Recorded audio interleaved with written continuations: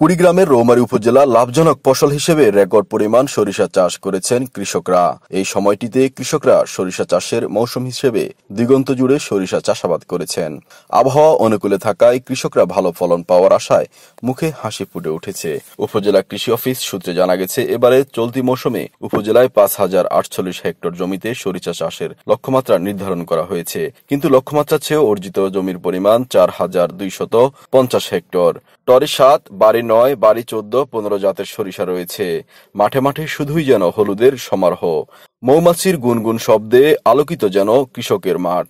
এদিকে সরিষার ফুল থেকে মধু সংগ্রহ করতে ব্যস্ত মৌচাষিরাও আবহাওয়া অনুকূলে থাকলে সরিষার বাম্পার ফলনের আশা করেছেন তারা। এবার খারাপ খারাপ লাগে। ধরে না তোর কাছে এবার ফসল জুত না বেশি। আবাদ করছি। আকাশের অবস্থা যদি ভালো থাকে তাহলে বিঘে প্রায় দশ থেকে এগারো মন সরিষা হবে আর কি। আড়াই বিঘার মতো আবাদ করছি আর কি, সরিষা। তো এই সরিষা উড়াইয়া এরের আবাদ করব।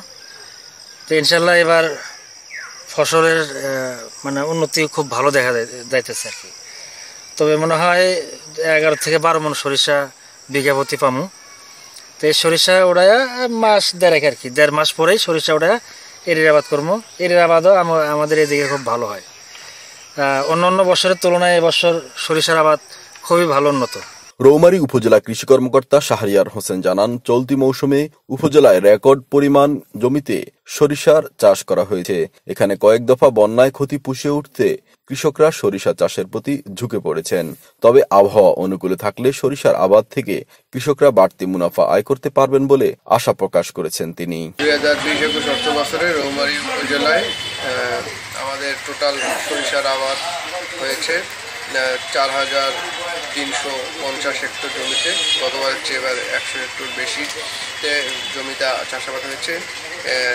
এলাকার লোক সরিষাতে তারা ব্যাপক আগ্রহী এবং তারা বেশ লাভবান হয়। পাশাপাশি আমাদের এই সরিষা ক্ষেতে আমাদের বাহির বাংলাদেশের বিভিন্ন জেলা থেকে মৌ চাষিরা এখানে আসে, তারা মৌ বক্স নিয়ে আসে। এতে আমাদের সরিষার যে ক্ষেতের আমাদের পরাগায়ন অনেক বেশি ভালো হয়।